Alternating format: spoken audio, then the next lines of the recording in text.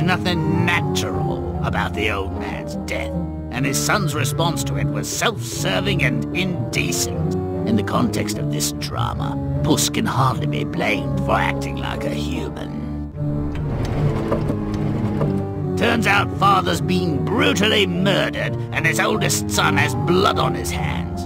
The mill is mine. I'll use your ass to work it and give you a crust in return. Hmm. Hmm. Sounds fair. About him? He can eat cow shit and die. Father said I could eat the cat. Father's dead, and good riddance to the ugly brute. Make sure you're gone today, or I'll put you in a pie. Take that mangy excuse for a throw rug with you. Wow! Puss had no intention of becoming a meal or a muff. you, being useless, will understand nearly nothing of what's to happen. Just stay out of the way. Can you manage that? I'm sure. I did procure your boots, and, and previously I asked how high when you said jump. Puss cleared the warren of a raft of rabbits. Then he took the whole mess to the king. Deliciously macabre, Monsieur Puss. I'll have this stuffed with something post-haste. Will you stay for the dinner? Delighted, Your Majesty. Uh, is there a box where I might freshen up my toilette? Puss perfectly understood the maniac royal's predilection for gore and guts, with the world gone mad and naked, and the bogus marquis coming apart, as it were. Puss had little need to further ingratiate himself into the king's good graces, but he had a story, and he was sticking to it. You'll excuse me for saying so, Master, but I don't believe you resisted those bandits as vigorously as you might have done. Wow. Did I detect yelps of leisure? To the best of my recollection, I was assaulted. Well, do a better job of being miserable. The king will expect it. The king, in fact, was smitten with the cat. What he did for the hapless marquis was really for pussy's sake. this land belongs to the Marquis of Carabas, unless you can answer the following question. This is my land. This belongs.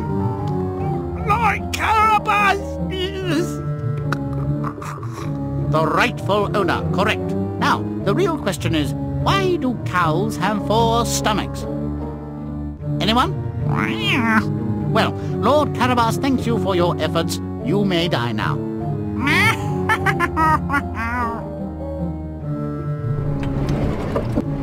Whoever propagated this notion of good ogres never met one. Nasty bits of work ogres are. Rumors are so unkind, your ogreness.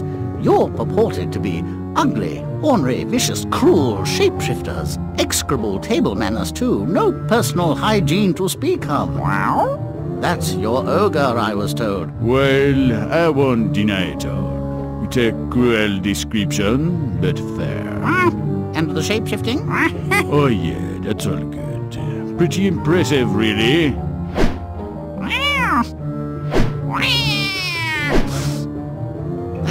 Very nice, Your Magnificence. Outstanding! the elephant was brilliant, but what would really move me is if you could become a mouse. They are such frightening, resourceful creatures. But no, that would be too much to ask.